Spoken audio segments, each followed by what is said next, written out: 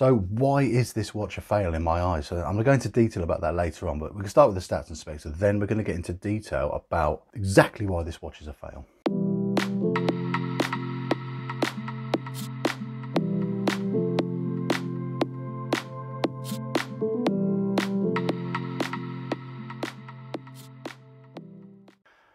Now, before we get into detail about its uh, pros and cons, mostly cons, here's the stats and specs. So guys, stats and specs. Let's start with what I paid for this watch. 122 pounds. Yes, you heard me. I I paid 122 pounds all in delivered from Pagani Design on AliExpress, shipped them in the UK. Took uh, two weeks. 122 pounds. These are shooting up in price. So this is 159 grams. I've taken three links out. They are push pins in this. Uh, they came out okay. They're a little bit tricky. They're a bit jammed in there. It's a bit fiddly thing to do. And the lug to lug on this watch is actually great for a watch with these kind of end links. Because you've got the female end link and it actually conforms a bit, 50.7. Anything close to 50 is spot on. Ideally, slightly under 50 would be ideal, but for this design of watch, that's great. The case is a 40 from of that edge there to there, which is again a good size, but it weighs a little bit bigger because this chunky design. Crown is 6.4. It's a push-pull crown, not screwed down. It's a nice good 6.4 size, which is easy for screwing, um, hand winding, I mean.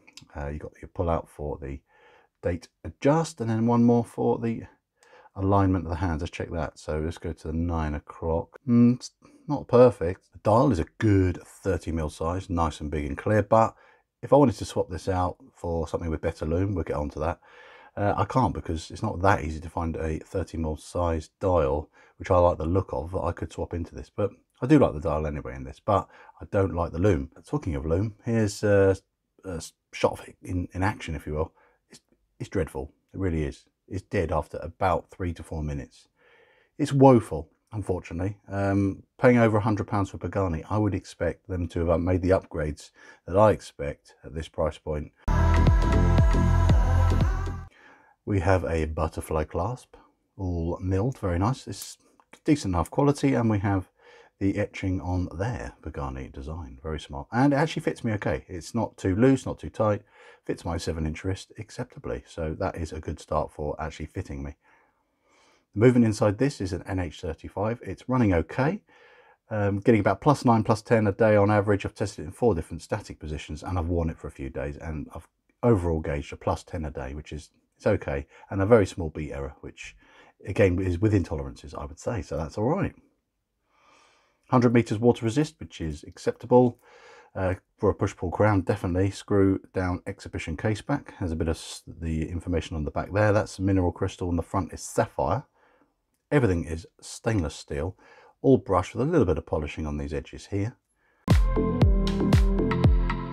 So that's it, specs, specs and specs, stats and specs, everything's covered. So let's go into more detail. That's the bit you really need to know. Why I like this watch, but mostly why I don't like it. That's the key thing you're going to find out. So let's get stuck into that.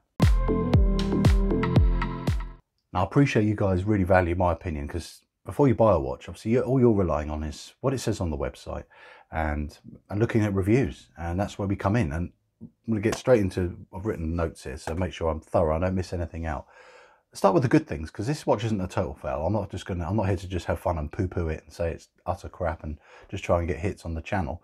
You failed.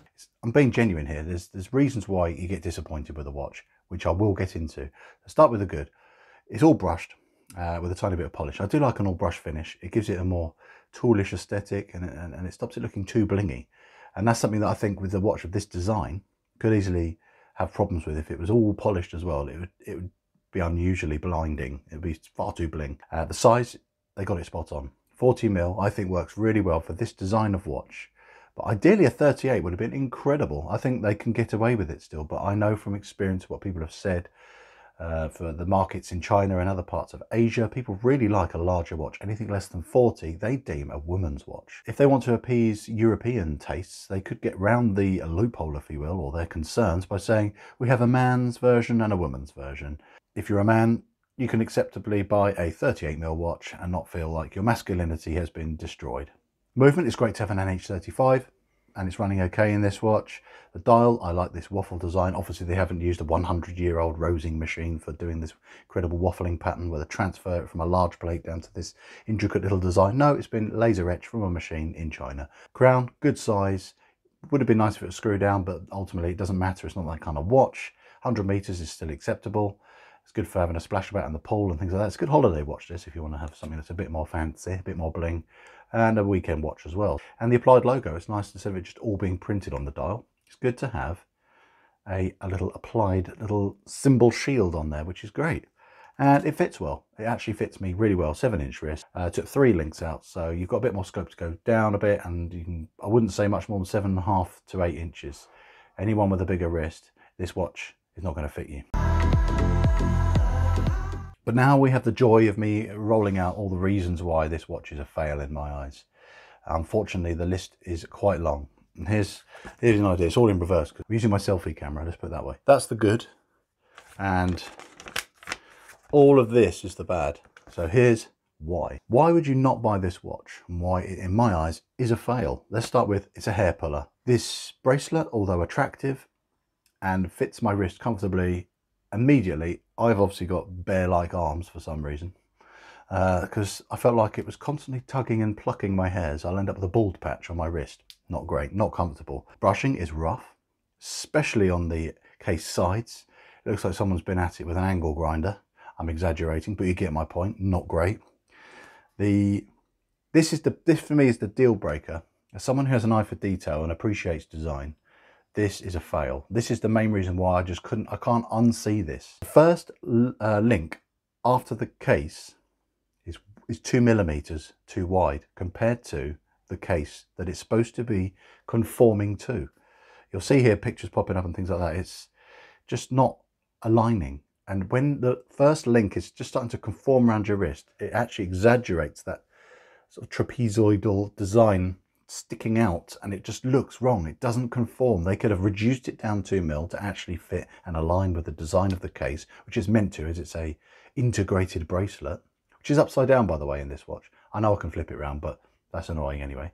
Uh, these round screws that go around the bezel, they, first of all, I think they could have done a better job by actually making them the octagonal shape like they have done on the Cadisen, which we'll get onto. The the fact that they're round, first of all, is lazy. It's cost cutting. They could have done what Cadisen did. They managed to successfully get that integrated design of those unusual looking screws. These, although the slots in the screws all uniformly go around, which is good because if they got them all higgledy-piggledy, that would have done my head in and that would have been another fail. But the screws are sticking in and out at different heights, different parts of the bezel. Sloppy. Date window is white, should have been black especially if you go for the black waffle design. As you know me, I love a blue dial. Don't worry, no silly pop-ups this time. I do love a blue dial, but if you have the black one, how nice would it have been to have the black date wheel as well? If you don't like this bracelet, you're stuck with it. There's no other option for one that's uh, one that you can swap out that has that little nick in it to, to integrate into the to the case design that isn't available. The main thing that bugs me as well is 122 pounds for about £30 less, you can buy a Cadisen. They do a 42 mil, although bigger, I think is still going to be acceptable for the average man. It wears really well. You're getting more for your money. It comes with sapphire now. It used to come with uh, Hardlex, which we know is not great. If you want sapphire on your budget watch, you can still have that now on your Cadisen. The fact that you get more for your money, everything is better finished. I found that more comfortable. The lume was slightly better, but that's the other reason why this Pagani design's an epic fail. That lume is a joke. I mean, I know it's not a dive watch, but to have something that is totally gone within three to four minutes is unacceptable, considering it's something that we value as customers. And what is also unacceptable is they've obviously rushed this watch out. I don't like seeing watches which are cash grabs. They've rushed it out. You failed. They haven't got these little details right, which normally they get right but they need to do better if they're charging more for these pieces. People have a threshold what they're willing to spend.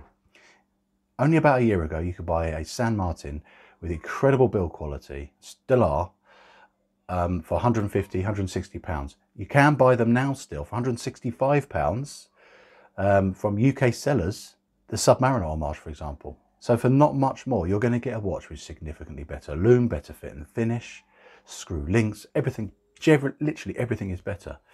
These Pagani designs need to up their game a bit better because they're very inconsistent at the moment. I think they're trying too hard too quick. They need to take their time, release less watches, but when they do release them, have them spot on. Because people like me, I'm not happy when they do this. Anyway, uh, that's as stern as I get, but I don't need to be sterner than that. i have made my point, and I hope you have enjoyed listening to it because I've highlighted the pros of this watch, and I've been very detailed on the cons. So would I recommend this watch? No. If it's still for you, um, I'm going to put a link in the description, but you know what? I'm not going to make it an affiliate link because it's a missed opportunity. Cadisen did a great job at selling and making this watch with minimal flaws. Go and watch my review. I've done it. I'm just not happy that they, uh, Pagani, who can do it, haven't. That's why it's a fail. Hope you've enjoyed this video. And if you have, thumbs up. Join the gang if you haven't. We have a fantastic community feel on this channel and it's so wonderful to be all part of that. And, and it's a joy to share. So if you want to be part of that, subscribe and I'll look forward to reading your comments on this watch. See you in the next video. Bye for now.